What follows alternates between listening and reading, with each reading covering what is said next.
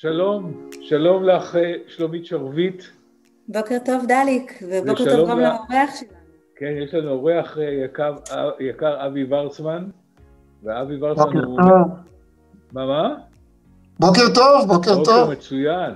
רק נציג אותך עד הסוף, אתה מנכ"ל אחד הפרויקטים המרגשים שיש בארץ, עדי נגב, נחלת ערן. כפר שמטפל בילדים שבאמת נפגעו קשות ודורשים לכל עזרה שאפשר לדמיין. איך נתחיל? אני אגיד לך איך נתחיל. יש משהו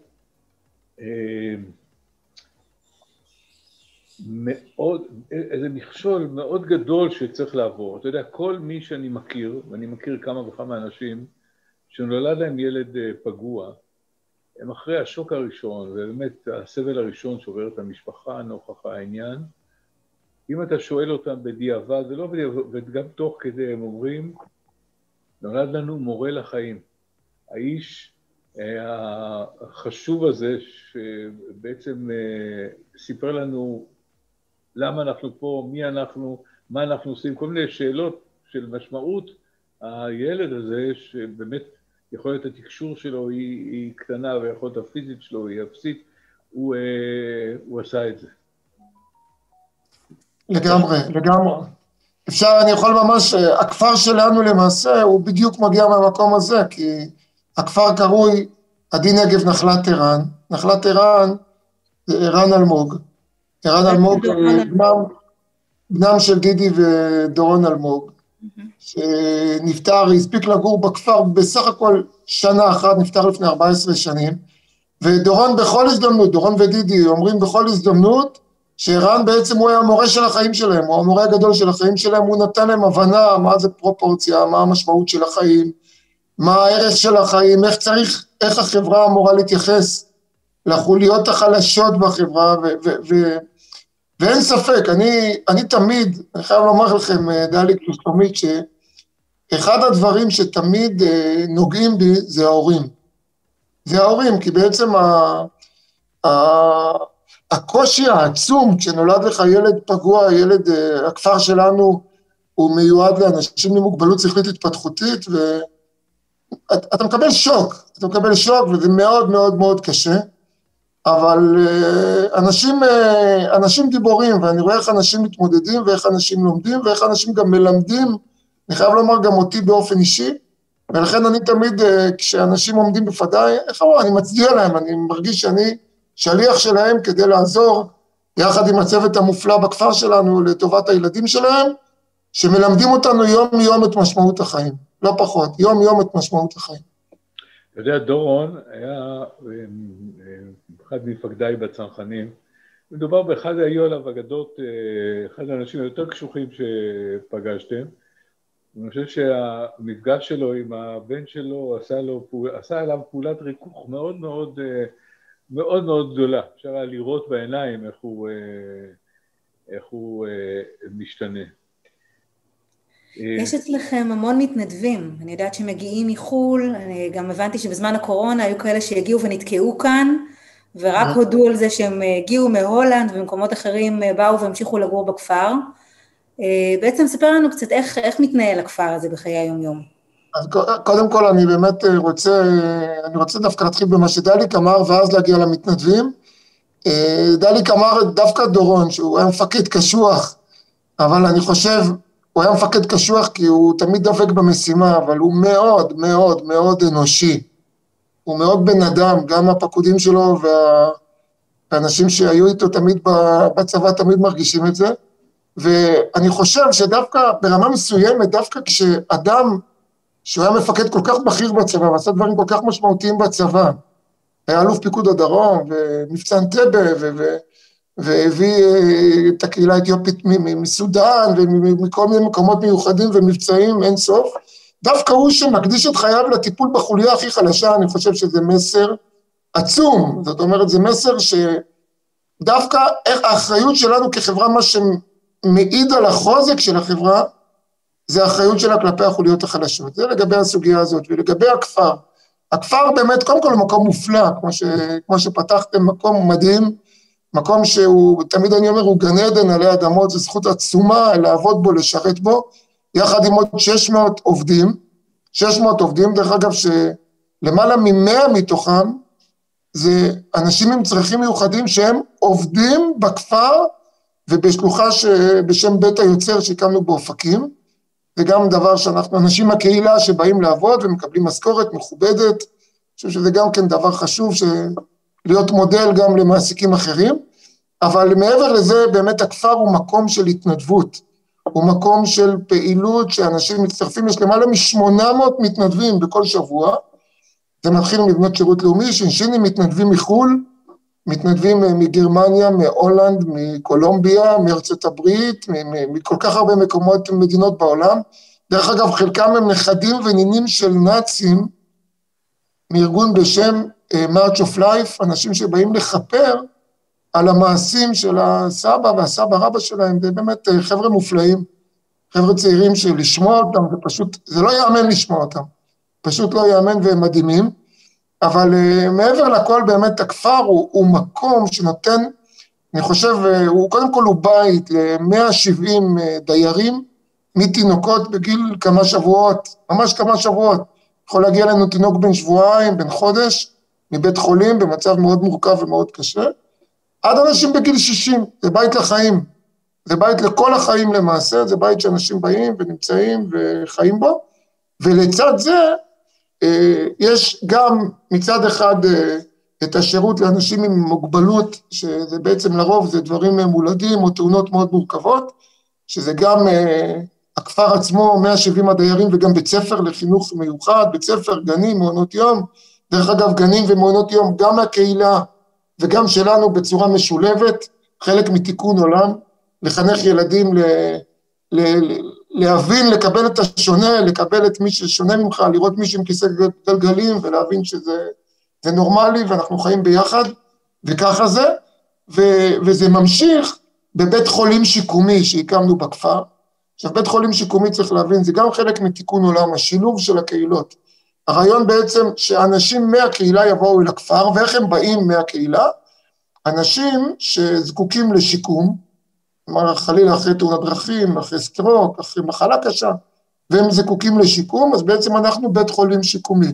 בית החולים השיקומי של הנגב, תבינו, זה כמו הבית לוינשטיין, נוטל השומר של הנגב, זו בשורה עצומה. יש לנו גם מחלקה לאשפוז, אנשים יכולים לבוא, נוירולוגית ואורתופדית, זה עם שירות מעולה שבמעולים, וגם אה, מחלקה לשיקום יום, זאת אומרת, אנשים אחרי תקופת האשפוז צריכים להמשיך טיפולים בקהילה ומגיעים אלינו גם לטיפול מעולה, וגולת הכותרת שעכשיו אנחנו בשלבים סופיים בבניית בית חולים שיקומי גדול ל-108 מיטות, תבינו, זו בשורה. אי אפשר להבין כמה זה משמעותי לבן אדם שגר בבאר שבע או באופקים או באזור וזקוק לשיקום, אתם לא מבינים מה המשמעות של זה, שבית החולים הוא קרוב לבית ושירותים הכי מקצועיים והכי טובים שיכולים. תתפלא, אנחנו מבינים.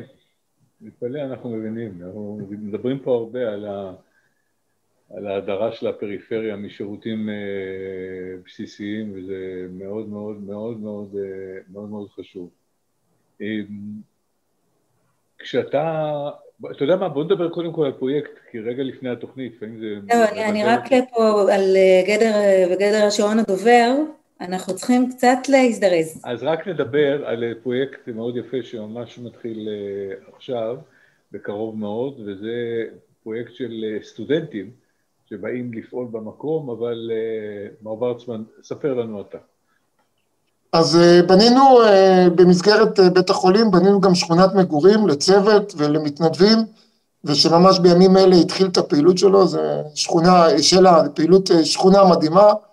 וחלק משמעותי מהשכונה החדשה היא מיועדת לקהילת סטודנטים, אה, שאנחנו אה, היום אה, התחלנו בגיוס הסטודנטים יחד עם ארגון מופלא שקוראים לו תוצרת הארץ, ארגון שמפעיל קהילות סטודנטים ברחבי הארץ, והרעיון הוא בעצם לסטודנטים שלומדים מקצועות רלוונטיים, כמו סיעוד, כמו חינוך מיוחד, מקצועות הבריאות, פיזיותרפיה, קלינאות תקשורת, ריפוי בעיסוק וכולי, פסיכולוגיה, דברים רלוונטיים לכפר, בעצם לבוא ולהתגורר ממש בצמוד לכפר, בתוך קהילת הסטודנטים, ליהנות מחיי קהילה מדהימים, מיוחדים, לבוא ולהיות חלק מפרויקט מדהים, אני חושב שזה ייתן להם גם, מי שיבוא לשנה כזאת או שנתיים כאלה, זה ייתן להם המון בחיים, אבל מעבר לכל, לבוא ולהתנדב ולפעול עם הילדים ועם הדיירים ועם המטופלים המדהימים שלנו, ואני בטוח שזה ייתן להם גם ברמה המקצועית הרבה, אבל גם, הכי חשוב, ברמה האנושית.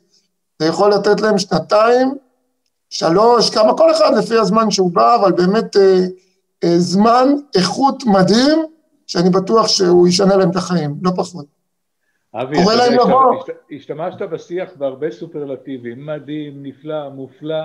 אה, בדרך כלל אני מעיר למרואיינים כשהם מגזימים, במקרה שלך מדויק, לא פחות מזה. לכן אני רוצה לשאול באותו עניין, אפשר להגיע לבקר סתם כאדם מן היישוב, להגיע ולהיכנס ולראות מה קורה שם? כן, קודם כל, כן, קודם כל כן, כי זה חלק מתיקון, אנחנו מאמינים בביקורים, יש, יש למעלה מעשרת אלפים מבקרים בשנה, אמנם הקורונה קצת שיבשה לנו את הכללים, אבל באופן עקרוני זה מה שקורה בדרך כלל. אני מקווה שעכשיו זה רק יירגע ויהיה יותר טוב, וזה חלק מתיקון עולם, זה חלק מביקור, ביקור חולים להיות וכן. ודבר שני, אני רוצה לומר כן, המקום בעיניי דווקא, המבחן שלנו, הוא לאנשים שבאמת הכי קשה להם בחיים, הכי קשה להם, שהם תלויים מאה אחוז בחסדי אחרים, כן, הם יקבלו את הטיפול הכי טוב והכי מדהים והכי איכותי והכי, הכי הכי, הכי הכי, עם הכי הרבה אהבה בחזון שלנו, המילה שמופיעה הכי הרבה זה אהבה, לצד המקצועיות וזה, אהבה, אהבה, אהבה. לתת את האהבה, ואני רואה ניסים בכל יום, אני רואה ילדים שבית חולים שלח אותם ואמר, אין סיכוי שישרדו, והנה, אנחנו רואים אותם בגיל חמש ובגיל שש, רצים ומחייכים, ואתה אומר, וואו, אין דבר יותר גדול מהדבר הזה, זה הזכות הכי גדולה. ואני גם באמת, אם אני חוזר עוד פעם לסטודנטים, בואו ת, ת, תראו את האתר של תוצרת הארץ, תצטרפו לקהילה, המדהימה הזאת, שיהיה לכם באמת אה, שנה מדהימה, מדהימה בכפר המיוחד שלנו. אבי וורצמן, תודה רבה לך, תודה רבה. נזכיר שוב, אנחנו, אה, למי שהצטרף בשלב האחרון, אנחנו מדברים על אה, עדי, עדי נגב, נחלת ערן, נחלת ערן, וכמו שהבנתם, רק יירגע קצת עניין הקורונה, תוכלו לבקר בעצמכם ואולי להתנדב. תודה רבה לך. תודה רבה. תודה, תודה רבה. כל הכבוד לכם. תודה רבה. כן. להתראות. ביי. כן, אנחנו uh, ממשיכים, אחרי שנפרדים עכשיו מאבי, אנחנו uh, ממשיכים בתוכנית uh, כרגיל. כמה זמן נשאר לנו? Uh, 13 דקות. 13 דקות שלמות, מה עושים כן. איתם? Uh, uh, טוב, רציתי נורא לדבר על משהו שנורא ריגש אותי, הוא כאילו משני נורא ונורא ריגש אותי. וזה באופן עוקב בשבוע האחרון היו שתי כתבות, אחת על כרישים שיש ביניהם יחסי חברות. אבל ממש יחסי אה, חברות, ויש להם משפחה ומשפחה מורחבת ויחסים מאוד מורכבים בתוך המשפחה, אבל זה כלום לעומת הלוויתנים הקטלנים, הקילרוול, אה, האורקה, מי שרוצה להציל את ווילי וכן הלאה וכן הלאה, אה, ששם ממש הם, הם יצורים, קודם כל הם חכמים בצורה שאין לתאר, אבל הם, יש להם צורך מאוד, מאוד גדול במגע.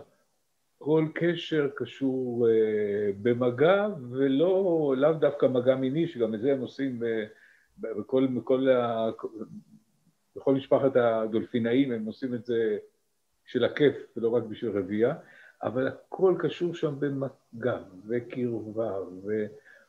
ואהבה מאוד גדולה. סיפור שהרומאים לפני אלפיים שנה, אה, כשהיו רוצים לצוד את האורקה, היו מוצאים גור והיו תופסים גור, ואז האימא הייתה באה ומקריבה את עצמה, ממש מקריבה את עצמה אה, בשביל הגור, למרות שידעה בדיוק מה מצפה לה.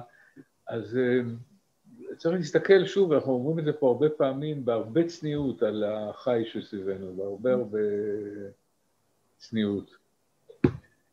עוד משהו על בעלי חיים, כדי עוד פעם לשנות את הנושא, את דיברת על בונים, בונים, או אורנה שלחה לנו שבאנגלים אה, מביאים את הבונים חזרה לאנגליה. כשהמטרה שם היא להחיות את הפלגים שבהם הם בונים את המחסומים ולהיות מין סמן לטבע פירי שחוזר כי הוא הולך ועובד לנו. עוד דבר, עוד דבר, היום בירחון של הדה-מרקר, איך זה נקרא, לא חשוב, הכותרת הראשית מדברת על זה שהחברות עכשיו שמייצרות אה, מזון, למרות המדבקות וכן הלאה וכן הלאה, בעצם מלעיטות אותנו בשומן רווי, בסוכר ובמלח. ואומרים שם שביום מן הימים, והוא לא רחוק, יקבעו אותם כמו את חברות הסיגריות. גם המדבקות האלה, מסתבר שהן בלוף, כי בני אדם, גם כמו עם הסיגריות, ממשיכים לצרוך אותם למרות התוויות. הם פשוט לא צריכים להיות על המדפים, הם פשוט לא צריך לייצר אותם ככה, צריך לייצר אותם בדרך שבהם אנשים, אה, אנשים, ילדים, לא, לא יתפתו. פשוט מרעילים אותם. לגמרי, אני בטוחה שעוד uh, עשרות שנים יסתכלו אחורה ולא יאמינו איך אנשים אכלו כל כך הרבה מלח, כל כך הרבה סוכר, כל כך הרבה שמן וגם כל כך הרבה בשר. אבל אלה הדברים שאנחנו רגילים, ולדעתי המדבקות הפכו להיות סוג של שקופות בעינינו, בגלל שעל רוב הדברים שאנחנו קונים יש מדבקה, אז כבר אין לה חשיבות. אם זה היה בולט על משהו אחד ולא בולט על משהו אחר, אז היינו אומרים, אוקיי, את זה לא. אבל כשהכל כבר לא, אז אתה קונה כבר את זה ואתה מתעלם מזה. אז אה, לדעתי באמת צריכים לשנות את ההרכבים של אה, אה, איך שבונים את החומרים, איך שעושים את האוכל התעשייתי הזה, כל המונוסודיום גלוטומט, שאנחנו בכלל לא יודעים מה הוא עושה לנו לגוף, כל מיני חומרים רעים אחרים שאנחנו, שיכול להיות שהם טעימים לנו, כי התרגלנו לטעם, אבל אני זוכרת שלמשל טיילתי פעם במקדש הקופים בהודו, עם טפו צ'יפס ביד, והגיע קוף, גנב לי את הטפו צ'יפס, והדבר הראשון שהוא עשה זה ככה, ניקה את זה מכל המלח, ואז אכל. אז אמרתי, הקוף הזה הרבה יותר חכם מאיתנו.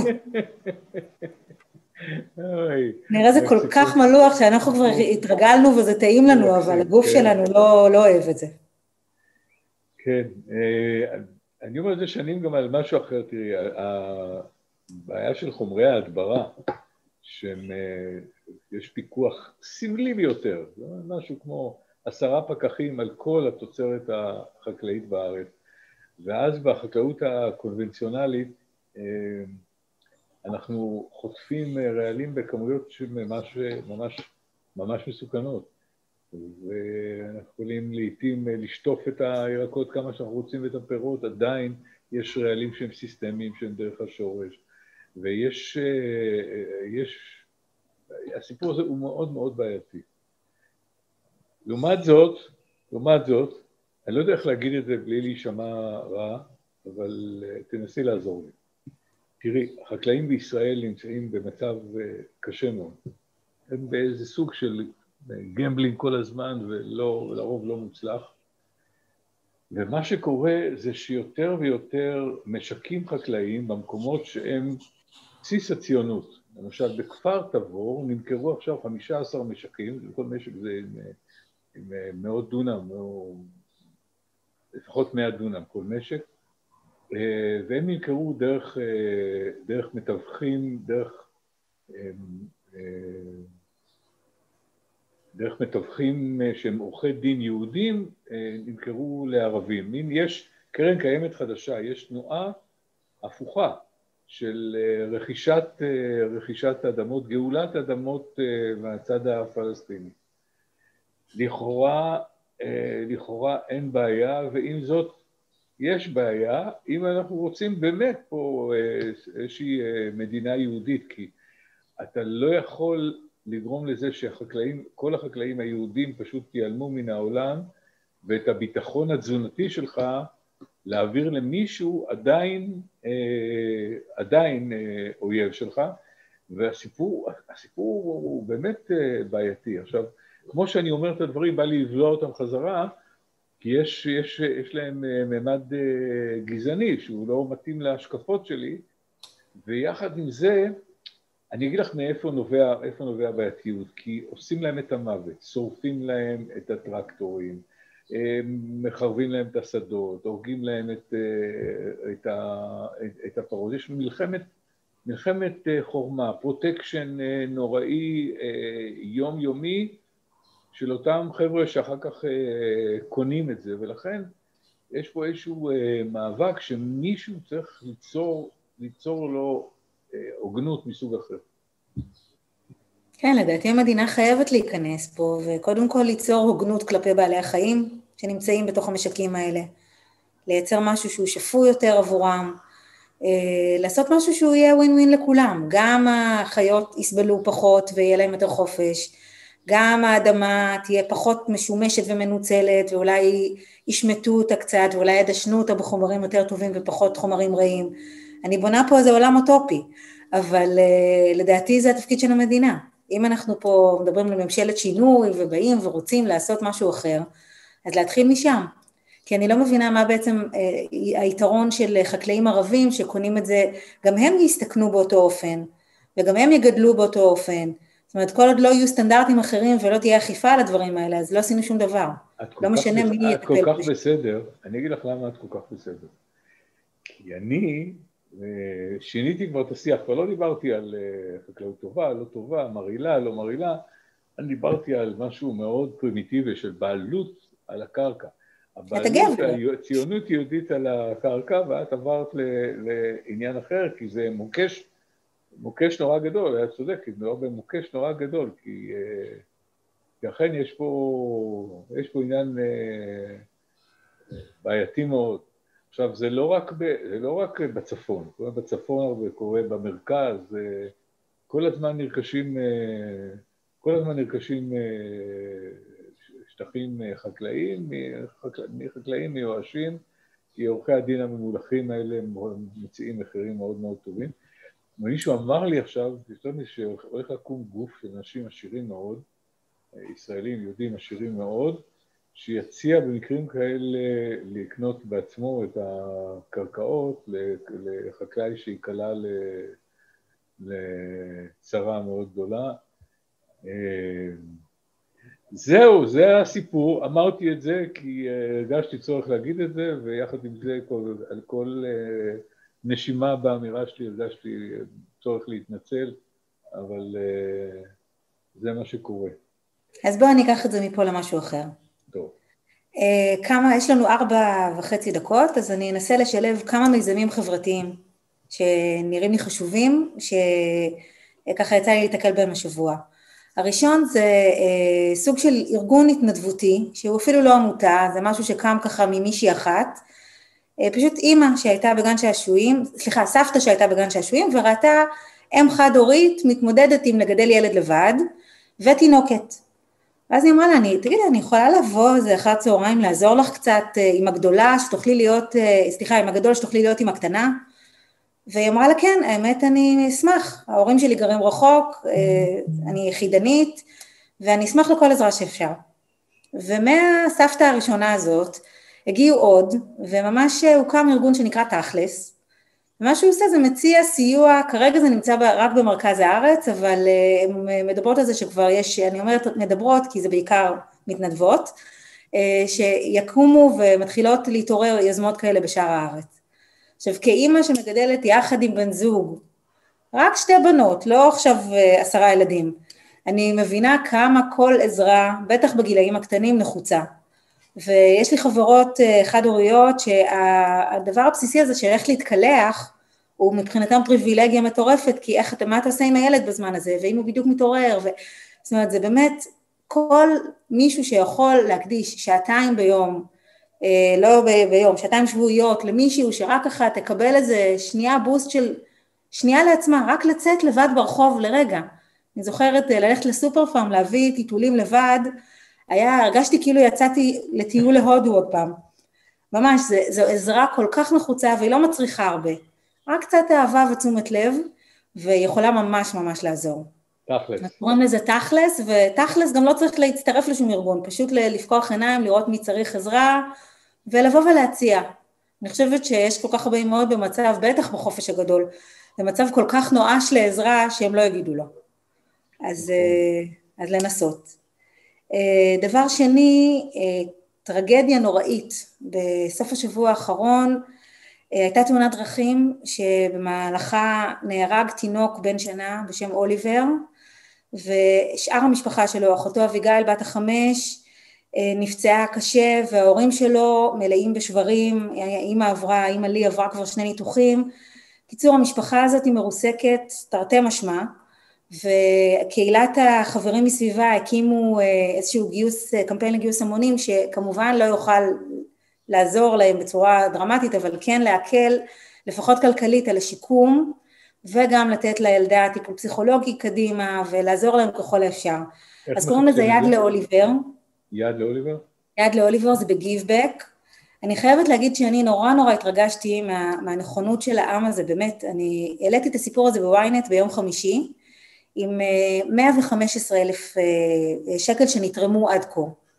עכשיו, אה, זאת אומרת, תוך כמה ימים זה הגיע ל-400 ומשהו, היעד הוא 500 אלף, זאת אומרת שהייתה היענות מטורפת של אנשים, עדיין צריכים עוד, אבל ההירתמות הזאת של כל כך הרבה אנשים, אני בקשר עם, החברים של המשפחה שהקימו את הקמפיין הזה, והם כל כך מתרגשים מהתמיכה הזאת, וזה נותן כל כך הרבה כוח גם לסבא עכשיו שמטפל בילדה, ובאמת זה משהו שאתה יודע, 20 שקלים, 30 שקלים, כל אחד ככה תורם קצת וזה מתקבץ לכדי סכום משמעותי שבאמת משנה חיים. אז יד לאוליבר, מי שרוצה ויכול לתרום, זה יתקבל בברכה. ודבר אחרון, כי יש לנו 28 שניות, יש ארגון בשם ידידים, שמעת עליו? ברור. יפה. ידידים אז, בכבישים, כן. נכון, נכון. אז לא רק בכבישים, מסתבר שנגיד בשומר החומות, המון אנשים נתקעו עם הפתיחה של החלון ממ"ד, שהוא נורא כבד ומתסכל, אז זה מה שהם עשו במשך כל המבצע הזה, פשוט הגיעו לאנשים קשישים ואחרים שלא מצליחים לפתוח את התריס, ופתחו פתחו וסגרו להם. הם זכו עכשיו באות הנשיא, יחד עם עוד המון ארגונים טובים ו- וראויים אחרים. הנה נגמר הזמן. ומי שלא מכיר אותם, תכניסו לכם לנייד 1230, זה טלפון שפשוט ב-24 שעות ביממה, לא בשבת, נמצאים מתנדבים שנתקעתם בכביש, נגמר המצבר, אין לכם דלק, אתם צריכים עזרה, משהו שאתם, מהרגע לרגע מישהו צריך לבוא ולעזור לכם, לא עזרה ראשונה רפואית, אלא עזרה ראשונה אחרת, והמתנדבים האלה יגיעו ויהיו שם. אז זה נותן ככה מעטפת. נורא, נורא, נורא תודה, מאוד מאוד מאוד תודה על הדקות האחרונות ועל היכרות עם יד ואוליבר ועם ידידים ועם, ועם תכלס. תודה, תודה רבה. תודה רבה, שלומית שרביט, תודה רבה. תודה רבה לאורנה יקירה שלנו. תודה רבה גם לאבי ורצמן, שהיה בתחילת התוכנית, סיפר לנו על הכפר המדהים שלו, ושיהיה המשך שבוע טוב לכולנו. אמן. להתראות. חודש טוב, נכון. ביי ביי.